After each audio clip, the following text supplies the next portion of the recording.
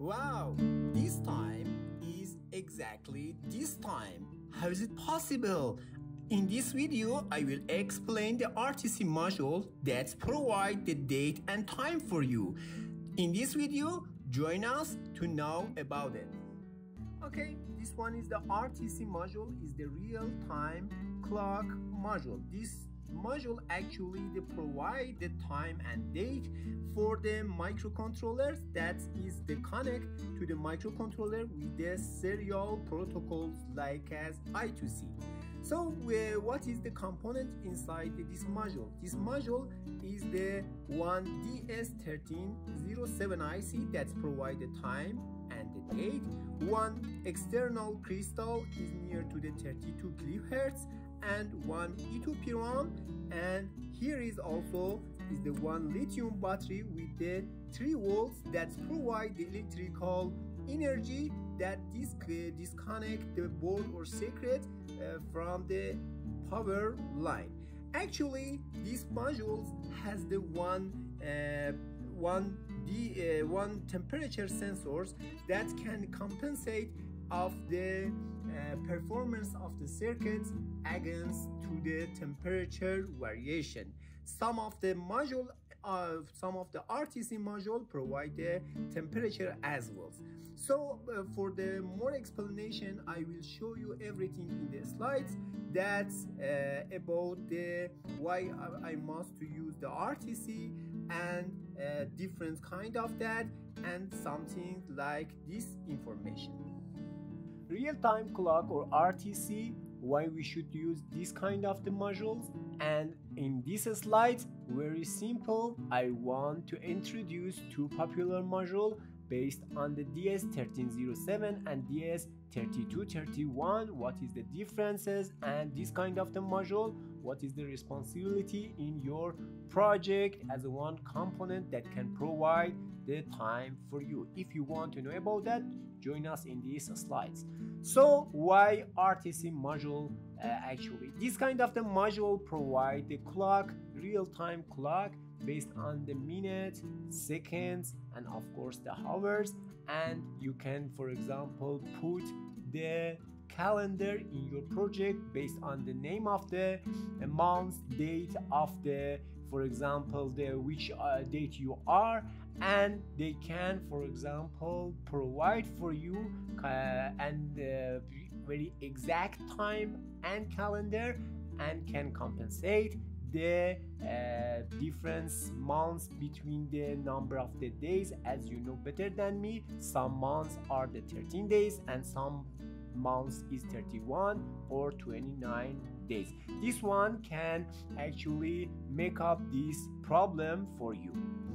The other things is the actually they have the one EPROM uh, that uh, very limited about the capacity but uh, you can use it automatically the time and date go there inside it. it is general purpose and of course there is the one backup battery. You can use it as for example when the power supply of the this module is disconnected. That i will explain it more in continue actually. So uh, the about the connection to the microcontroller is the based on i2c or serial ports this one is the the connection is the i2c uh, uh, bus actually. So very low power consumption and this uh, module actually is used very low ampere ampere like as for example consumption of the ampere is near to the 500 nanoampere. That usually without any problem. Actually with the battery you can that's depend of the quality of the battery actually can work for you to the 16 years until the 10 years. About the range of the temperature, you can use it in the any project.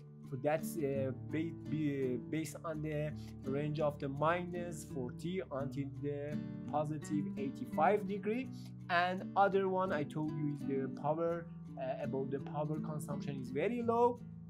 And there is the one option that's uh very important automatically actually can switch from the battery to the uh, voltage for example uh, for, to the power supply actually. And for example if your uh, power supply is disconnected automatically can supply from the backup battery.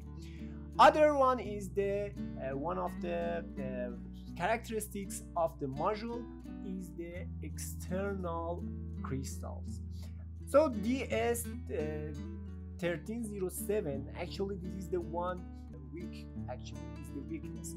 Is use the external uh, crystal. The external crystal is the 32.768 kilohertz. And as you know better than me that the crystals are affected by the temperature uh, and is very sensitive to the temperature.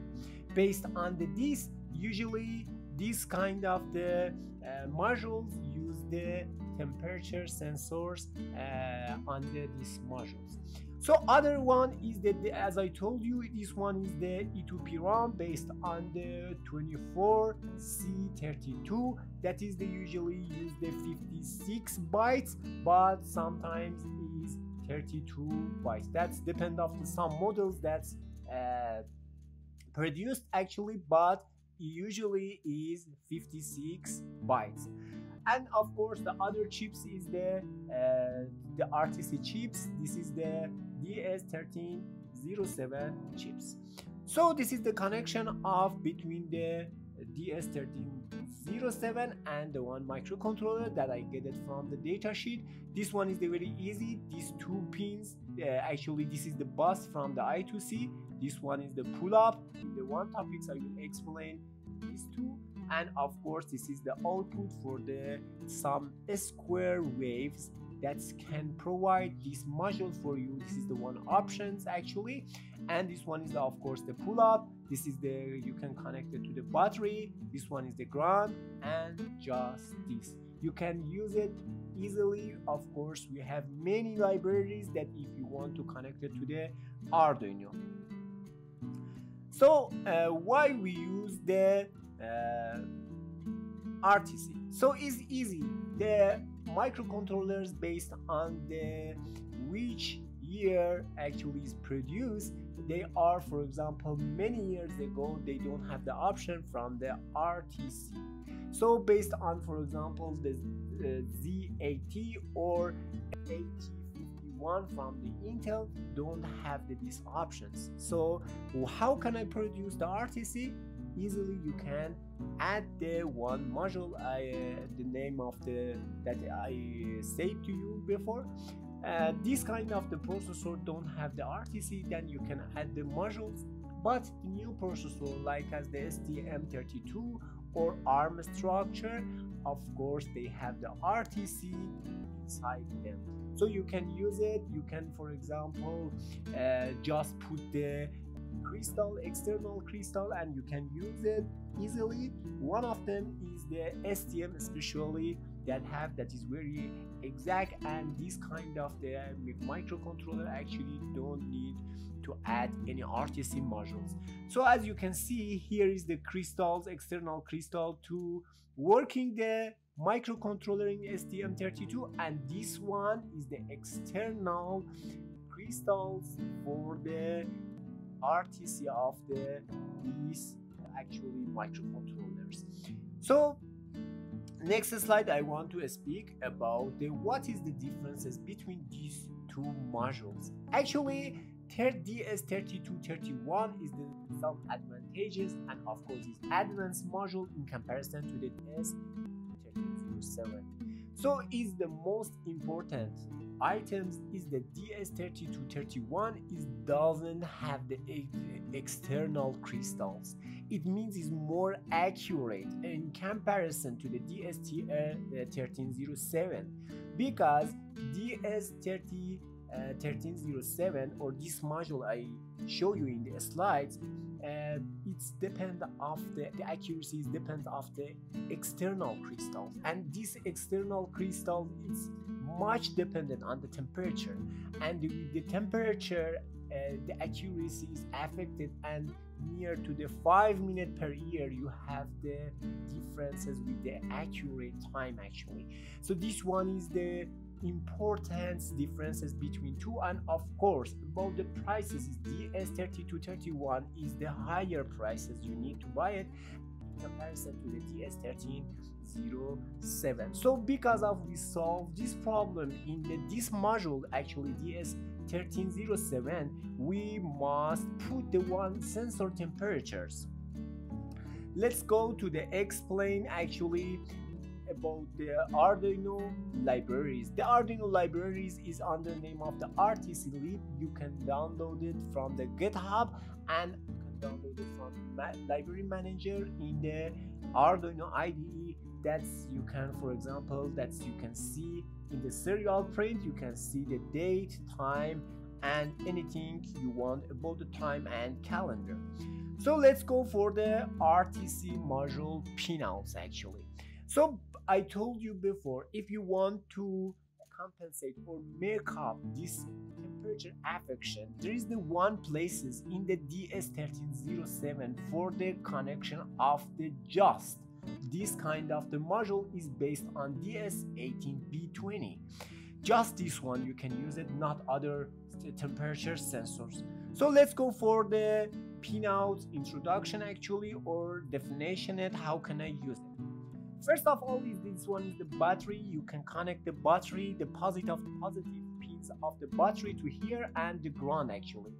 Other one is the ground, another one is the VSCC and of course SDA and SCL is for the I2C connections and DS is the temperature out. What is that? Actually when you want to connect these temperature sensors usually if you want you can use it in your project.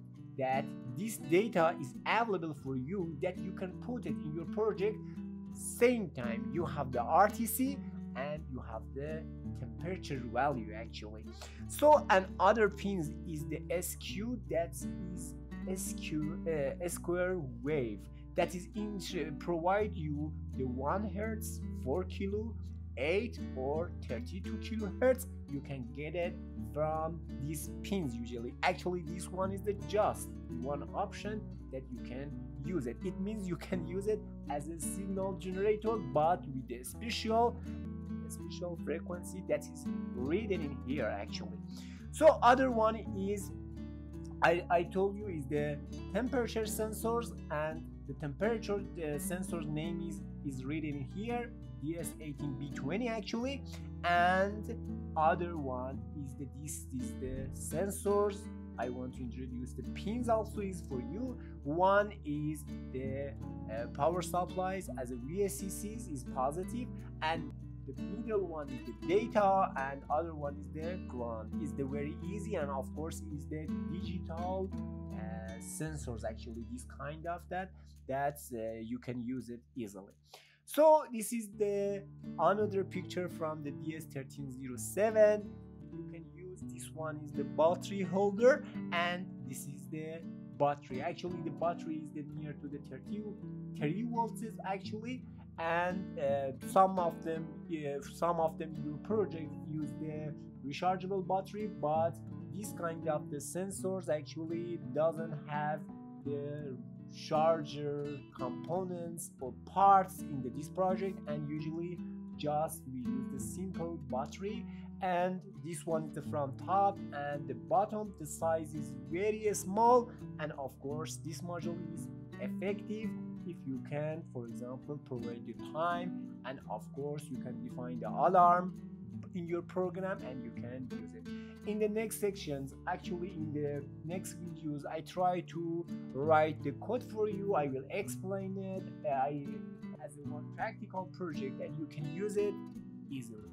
Thank you that uh, you joined us in these slides. Um hopefully this explanation was worthy for you